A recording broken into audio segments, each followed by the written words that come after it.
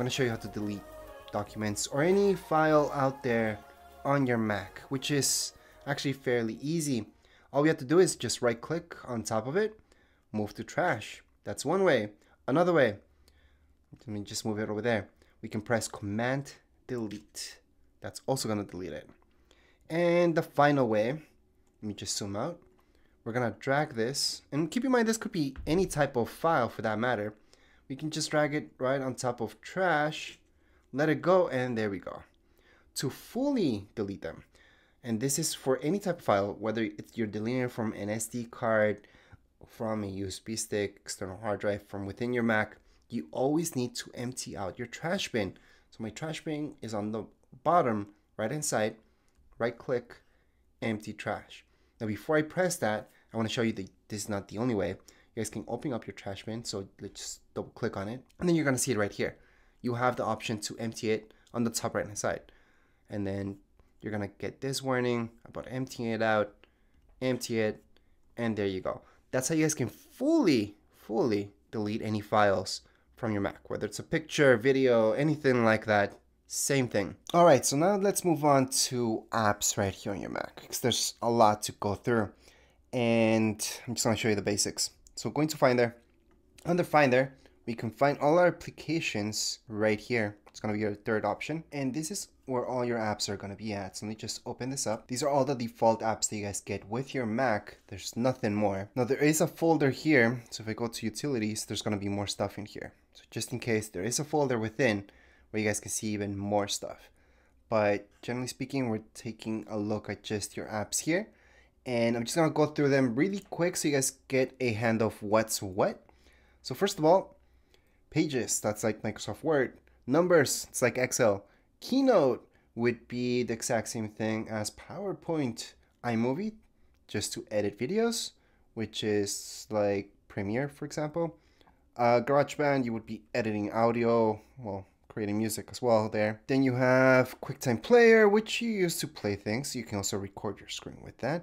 Right here, Apple TV, Time Machine. Time Machine is something that's really good to set up. I do have a separate video about that because for that, you need to buy an external hard drive. Once you guys get an external hard drive, look into the video that I have about time machines. That's a whole thing, and it's really great to use. Anyways, Apple TV. So from that hub, you guys can play movies, TV shows, and all that stuff. So again, that's a hub. It's gonna take you into channels that you guys can subscribe to in order to play all these things or even buy movies and anything like that. And the last main thing I'm gonna show you would be your mail. You guys can just add in your Hotmail, Gmail, all your accounts under there. So you guys can just answer all your emails all in one app.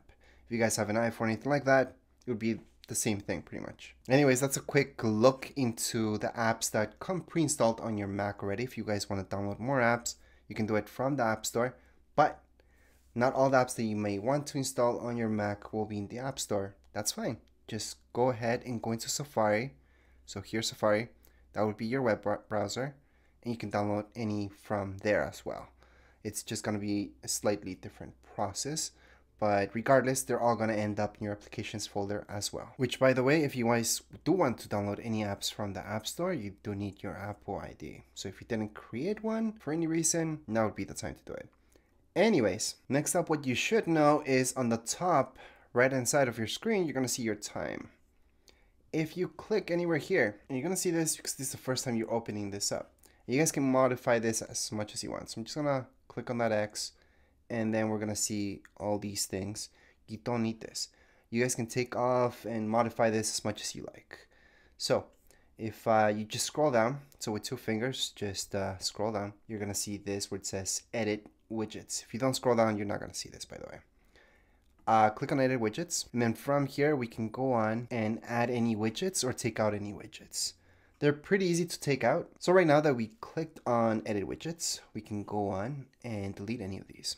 And that's just by going on into this right here on the top left hand side, clicking on it, and that's gonna delete it. So let's say we delete everything. There we go. We can just drag and place any of them in here. So here are all the widgets that I could add. And no, you don't need to delete them all in order to add any. I'm just showing you how to delete widgets. But to add anyone's, any widget for that matter, just click on the widget first, then see which one, which look you like. So it could be like something really small, which looks like so. It could be something more extensive, such as this one, really big. You can also add photos, for example. You can add in reminders. That's going to be useful for, I think, most people. Uh, weather, depending where you live, it's going to be very important. And then there's stocks and all that other stuff. So we can add in pretty much anything. Battery is very important, actually, because then you can see the battery of your Mac. Although we can also see that up here. Anyways, but this one tells you what percentage, so it's kind of nicer to see it that way. Plus, let's not forget that any other batteries that you hook up to your Mac or connect it, such as any headphones, wireless headphones, you would see the batteries here as well. So that's kind of nice. So again, right here, you guys can see all the widgets that you can add, weather, tips, stocks, shortcuts, screen time, so many, so many things right here under widgets. We can go into all widgets, it's gonna show us every single thing and every single type of view for each one of them. So we can add them right here on the side. So again, I'm just scrolling through so you guys can see everything that you could add. The only one that I wouldn't add is shortcuts. I see that kind of a waste, but it's all up to you guys. Anyways, so that's how you guys can modify this. Let me just click out. We're gonna leave it as is. We're gonna go ahead and put okay. That's just because the weather. Now let's say you guys want to keep your widgets on the screen the entire time. So you don't want to click here and just have to click there. You guys can actually move these widgets onto your screen to be there every single time you turn on your Mac. So and all you have to do is click on it, drag it onto your desktop. It's that simple. So click on it, drag it to your desktop. If there's something missing from here that you don't want, same thing. You can just go ahead and get it from here. So it's just a time. I can drag it on here. And from there, I could drag it on later on if I want to. I can drag it on here on my desktop. And that's it.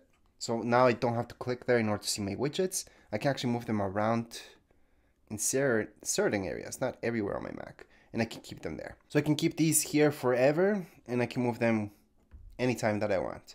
So again, they could be in the middle of my screen or almost anywhere on my screen. And if I want to delete them, so let me just get that out of the way. I just like clicked on it by mistake. I can just go into edit widgets again. And then you guys see that minus sign? Yep, on the top left hand side. Just click on it and you got rid of it. Or yeah, I could just move those back into here as well on the right hand side. So that's how you guys can mess around with widgets on your Mac. Now for Wi-Fi, Bluetooth, all that stuff, the quick way would be on the top right hand side. We're gonna see this. Just click on it and you're gonna see all of these options. So from here we have our Bluetooth, Wi-Fi, focus. That's just so you guys don't get anything popping up on your screen telling you, oh, you need to do this, you need to do that. You guys can just set it up so uh, nothing gets in your way. Play music, sound, display. You guys can mirror your screen, but that's another video, a little bit more advanced. AirDrop, you might be using this a lot if you guys have other Apple products especially because using Bluetooth you guys can just airdrop things to other devices. So I can transfer a picture to my Mac or a picture from my Mac to my phone using airdrop for example or to my tablet. But again that's just another video. It's actually pretty easy because for airdrop all you guys have to do is going to Finder and then from here there's airdrop I can find anything that uh, is using airdrop and just drag it onto that person, for example. But again, another video, another day. So right now I just showed you the basics for your Mac. Uh, in order to add any emails to your Mac, all you guys have to do is just go here into your mail and you can add them there. You don't need to, however. So keep in mind that your email is online.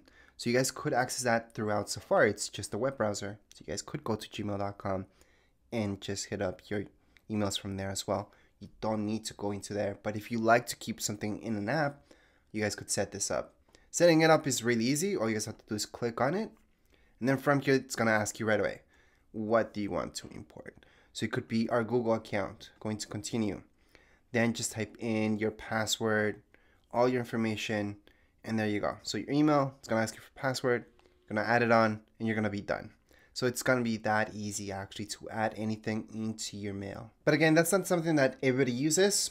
Feel free not to. And as I mentioned before, your main browser would be Safari, but you guys can download Google Chrome if you like. And to do that, all you guys have to do is just go here and type in Google Chrome and just download it. And yeah, you would download it from here and not the App Store. There's actually a ton of apps that you would download it from here and not the App Store. Although for some of them, you do have the option to go into the App Store and download it from there. Others, you don't have to. You can just go right here and it's gonna ask you if you guys want to download. It's gonna be, how do you know this is a legit one? Just look at that up here.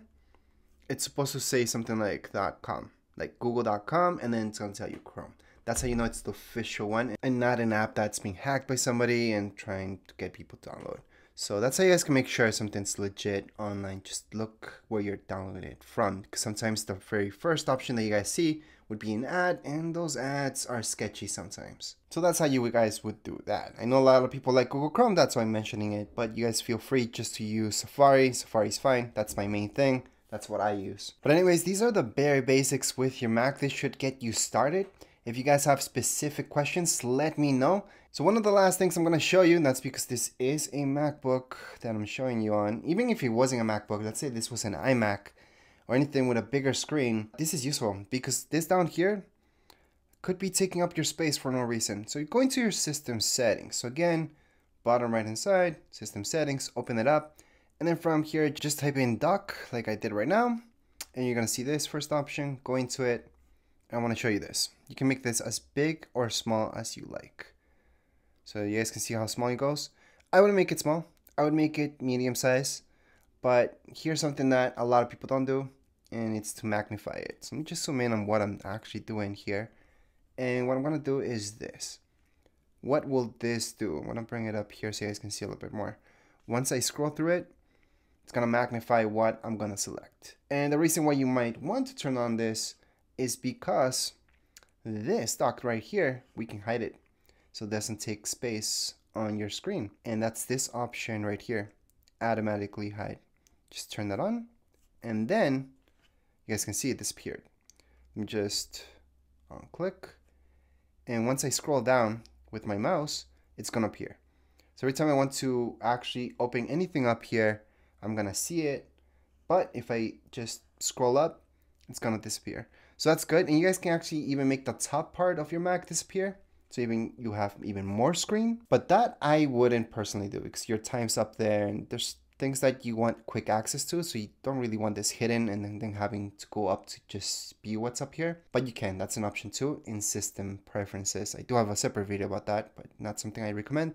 However, this part I do highly recommend. And since we're taking a look at this, I'm gonna show you how to delete these things. And we're just to delete them from here from the dock, not delete the app itself. So let's say if I take this out, if I just drag it out, it's to say remove. There we go. So it's no longer here. However, the app still exists. I didn't delete it. I just took it out from there. So if I go into my applications, it's still to be here. However, again, if I do want to get something back there, if I want to add anything to my dock, I can just grab it from here and drag it down. So for example, something that's not down there would be weather. So I can just drag it down here and put it there. Actually, I think it was there. So let's drag something else like boys. I'm gonna drag it down and place it here. Actually, I can place it anywhere really, but for now, we're just gonna place it in between these two. I'm gonna let it go, and there we go. So again, that's how you guys can add anything onto your dock, or you guys can remove anything from your dock as well, just by going like that, go up a little bit, let go of it, that's how you guys can remove. So I'm gonna show you that one more time for reminders, for example, remove. For this, remove. So you guys delete anything from there. All right, so if you guys want to delete an app, um, it has to be a deletable app, for example, such as Keynote. You guys can right click on it, move to trash. That's your third option, and that's gonna get rid of it. That's one way. Another way would be to click on it, press Command Delete, or the third option would be to just drag it onto your trash bin. And that's how you guys can uninstall password and done. There we go. So that's how you guys can uninstall any app. Obviously, we have to empty out that trash bin, just like you delete any file. There are apps out there that help you delete any apps from here for your Mac. And that's because they find usually folders or anything like that that's associated with the app itself, which is good when there are bigger apps out there. And there's some really complicated apps such as Adobe, uh, which you actually need to download an app to delete Adobe itself. So that's different. That's a different video again, but that's a particular case. For most apps, all you guys have to do is just drag them there. And there's an app that's called App Delete that I use. I, I suggest using that as well because it finds other folders that are associated with the particular program that you're using and that's going to help you out. However, I no longer show that app anymore because people think I'm advertising I'm not. That's just an app that I use. But you don't have to. You can just drag your apps to your trash bin, type in your password if you have one for your Mac, press OK, and you're done. Or press Command Delete on top of it, password again, OK, and done. So that's how you can uninstall things here on your Mac. It's much easier than a PC, I know. It almost makes it sound like not real. Because on PC you have to go through your settings and then do it from there on installing a program. And right here on Mac we even call them apps instead of programs. But anyways, just empty out your trash bin and you're good to go. Anyways, those are the bare basics for your Mac. Go ahead and have fun with it. I'm going to teach you one more thing before we end this video and that's how to change your background. Uh, it's actually pretty easy. Just go ahead and tap with two fingers. You're to see this. Change wallpaper. Do it from there. That's a quick way. Another way, from your system settings, just type in wallpaper change wallpaper. And then from here, you guys are to see a bunch of options. So we can go and type this one in. We can try this one out. They're to change as you click on them. And then you can select whichever one you want. So right now, we're just to leave it there for now. And I want to highlight that you can download any other ones as well. And you can add in your own photos too. So right here, you have that option to add photo. But you don't really need to do that from here. If you have your own picture, you can also right click on it and it's to give you the option to make it your wallpaper. So it's to be that easy to change wallpaper right here on Mac. And that would be actually it for this tutorial. If you guys have any questions, comments, you guys can write down here in the comments area. Don't forget to subscribe and like. Thank you.